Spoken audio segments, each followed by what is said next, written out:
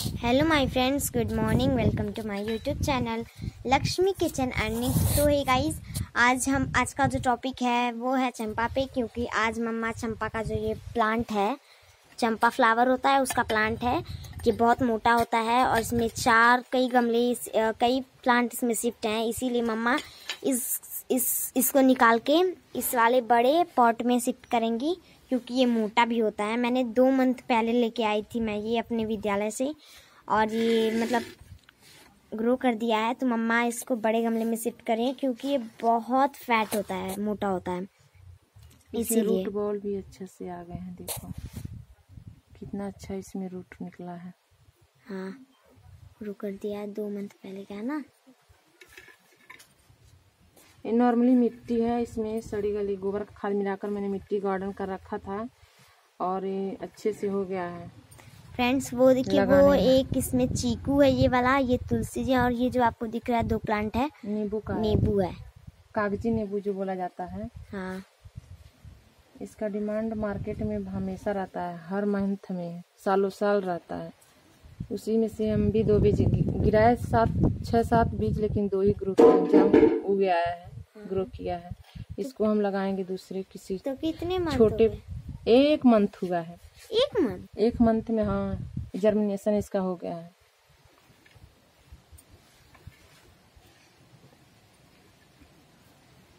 तो अच्छे से इसमें हम इसको शिफ्ट कर देंगे। और जब ये एक दो पत्तियाँ और निकल जाएगा तब इसमें हम खाद और इसमें ऐड करेंगे। डालना स्टार्ट भी नहीं डालेंगे केवल इसको लगा करके और पानी डाल देंगे। जब और पत्तियाँ निकलेंगी तब ना? हाँ एक दो मंथ हो जाएगा उसके बाद इसमें हम गोबर का ही खाद डालेंगे। ज़्यादा कुछ भी नहीं। ये देखिए फ्रेंड्स ये अच्छे से हो रहा है यहाँ पे। ये देखिए।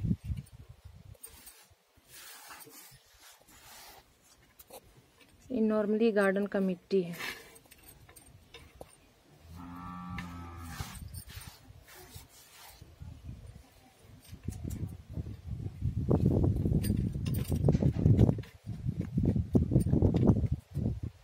तो यहाँ पे हो रहा है आधा तो हो गया थोड़ा थोड़ा सा बचा है अभी करना।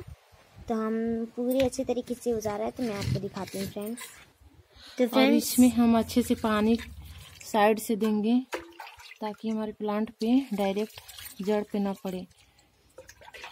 फ्रेंड्स इसका कटिंग लगाने का बहुत अच्छा तरीका है। ला, कटिंग लाएँ और दो तीन दिन छाँव में सुखा के तब इसका कटिंग लगाएँ तब जाके अच्छे से ग्रो कर जाता नहीं तो सड़ने की चांस रहता है तत्काल में जब कोई भी लगाए इसको इसका प्लांट तो सड़ने का चांस रहता है। इसलिए इसको दो तीन दिन छाँव में सुखा लें। पर आपको सही से कटिंग लगाना पड़ेगा तभी जाके ये ग्रोथ करता है। कटिंग में हमेशा ए वाला पॉट रहना चाहिए। पार्ट रहना चाहिए क्योंकि बीच बीच का पा, पार्ट नहीं ग्रो करता है केवल ये ऊपर का पार्ट ग्रो करता है। दो तीन दिन जब इसको छाँव में सुखाएँगे तभी ये ग्रो कर पाएगा लगाने में सक्सेस हो पाएगा। मैंने इसको इसी तरीके से लगाया है लाया मेरी बिटिया रानी ने कटिंग और मैंने इसको दो तीन दिन छाँव में सुखाया और फिर इसका इतना सा भाग मिट्टी में लगा दिया नॉर्मली मिट्टी में और ये सक्सेस हो गया। तो फ्रेंड्स अगर ये वीडियो अच्छा लगा होगा तो लाइक शेयर सब्सक्राइब ज़रूर कीजिएगा और नीचे कमेंट बॉक्स में कमेंट कीजिएगा कि कैसा लगा। हम और लेके आएँगे स्कूल से और उस उस, उस कटिंग पे वीडियो डालेंगे। तो okay friends thank you bye